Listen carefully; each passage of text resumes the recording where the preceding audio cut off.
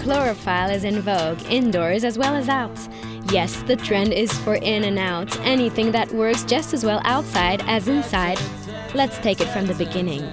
This big Parisian department store always has its ear on the ground when it comes to trends, and it now offers a huge range of greenery. Let's take a look. Today we live in a very stressful world. We never seem to have enough time, and what do we want? The answer is often that we look for reassurance by going back to basics. Which is nature. What's interesting about this trend is that there is a new admiration for natural materials. For example, wood is making a huge comeback, and for any sources of inspiration linked to nature, even just in terms of patterns or shapes.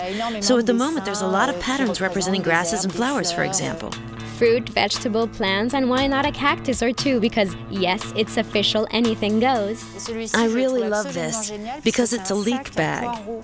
So it's shaped like leeks, and it's great for shopping at the market. People are looking for more greenery in their homes, and now we get to the crux of the matter. A lot of products nowadays are what we call in and out, which means that they can be used both indoors and outdoors. In and out. We'll have to see it to believe it. The cows had better keep a low profile. This is a milk jug, like a real farmhouse milk jug. And watering cans, little watering cans. And then something that I adore is this little kit of little zinc pots for growing herbs. You can write the names of the herbs on them, and then there's also a tiny spade and rake to tend them with.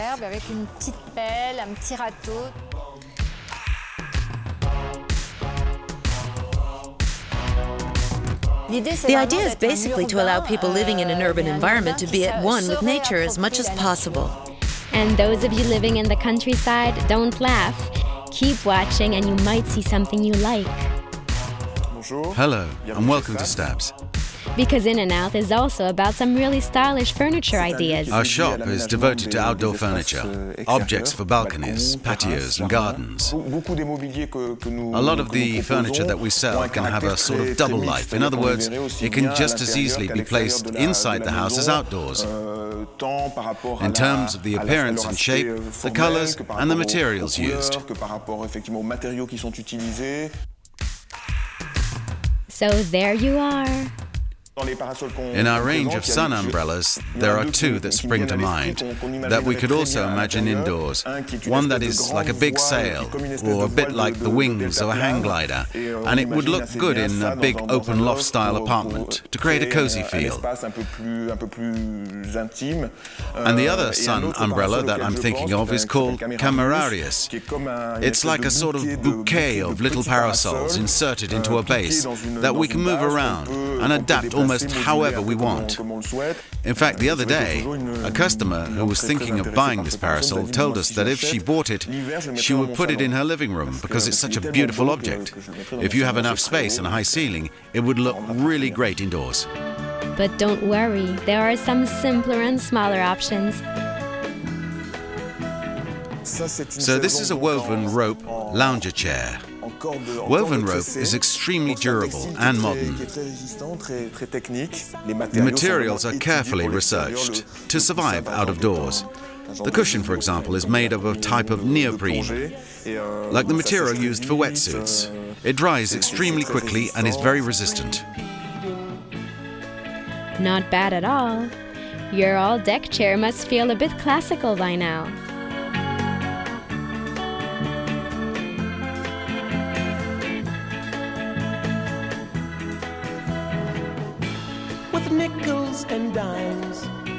Then there are these large light pots that come in a wide range of colors in various sizes. Some are really huge. I think it's a really interesting idea to transform a plant pot into an element of lighting. That's all for now for the furniture. But the in and out must is to have an indoor garden, like Pierre, for example.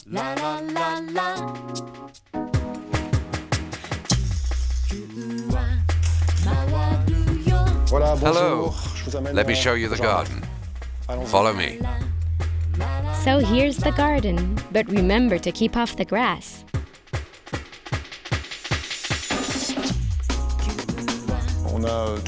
My wife and I have always loved plants. So here, having lots and lots of different species in a setup that is specially made for them, where the pots don't rise above the level of the ground, it's a little haven of nature inside the house. And no need to worry about the amount of light or the temperature. The garden takes care of itself, and you can plant whatever the season. My wife and I really wanted to have a banana plant like this because we've just come back from a holiday in Mexico. They're everywhere over there. They spring up all over the place. And the others, that's an alocasia. The common name is elephant's ear.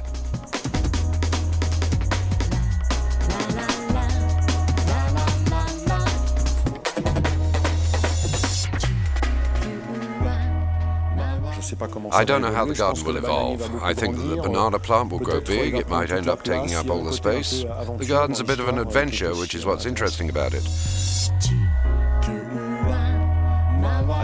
In any case, with plants, there's no point trying to control them. You just have to listen to them and watch over them. So how does it work? We asked Les Jardins Suspendus, a specialist chain that is still reeling from its sudden success.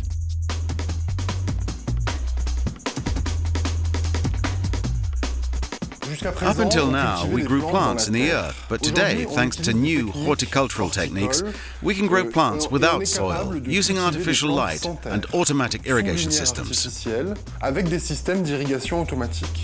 It sounds complicated, but in fact, it's very simple. Once the garden is in place, there's almost nothing else to do. Soil is messy and it attracts insects, or you can get weeds appearing. So, for example, we take an aloe vera plant, take it out of its pot, and get rid of the little shoots. Then we replace the soil with clay pellets. They are an inert substratum. In other words, they don't become moldy or rotten. The pellets are made of baked clay, and we place the plant in them. Then we're going to install a watering system that introduces a solution of water and fertilizer through the pellets, and the plant will grow much better than in soil. But if you don't have room for a stunning indoor garden, you might prefer a wall of plants. It is possible. Hello and welcome to my home. So, welcome to the balcony. So, as you can see, there's an incredible view of the Eiffel Tower. And there's everything you need to do a bit of gardening. I've got a lawn, I've got tomatoes, I've got rocket stems, and I'm going to collect the seeds. I've even got courgettes and strawberries. I'd like you to taste them because I can promise you that they don't taste anything like what you buy in the shops.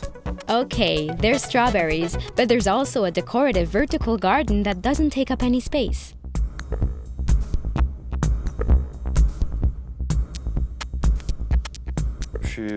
I adore plants, and I can't live without them, so this wall of plants allows me to have even more greenery, and at the same time, it's really easy to look after.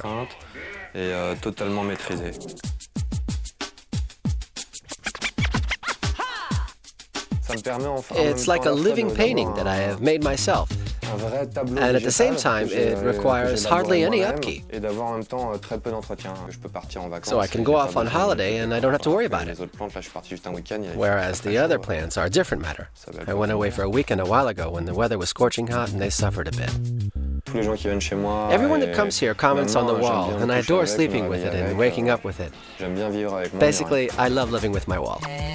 But the question on everybody's lips is how does it work?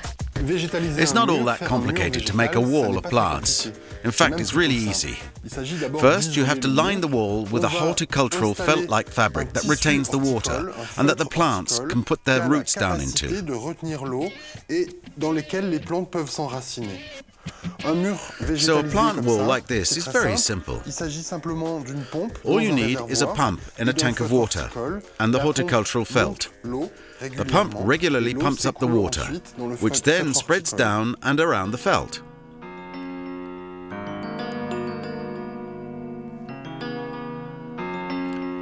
The light is activated automatically. There's nothing else to do. From time to time, you might want to check how a plant is doing, or maybe replace it. You can change the plants, add some, or remove some. The plant wall is very flexible and lasts as long as you want it to. So, indoors or outdoors?